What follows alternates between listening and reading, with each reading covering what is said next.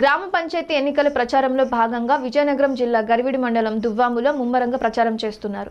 YCP బలపరిచిన సర్పంచ్ అభ్యర్థి శ్రీమతి తోట స్వాతి ప్రచారం చేసుకుంటూ ఉంగరం గుర్తుపై ఓటు వేసి అత్యధిక మెజారిటీతో తనను సర్పంచ్గాను అలాగే మరో పదో వార్డు మెంబర్ స్థానాలలో వైసీపీ బలపరిచిన వారిని గెలిపించాలని కోరారు. రాష్ట్ర మంత్రి బొత్స సత్యనారాయణ ఎంపీ బెల్లాన చంద్రశేఖర్ జిల్లా నాయకులు మజ్జి శ్రీనివాసుల సహకారంతో గ్రామంలో సిమెంట్ రోడ్లు డ్రైనేజీలు ఎక్కడ త్రాగునీరు అవసరమో అక్కడ నీటిని అందించాలన్నారు.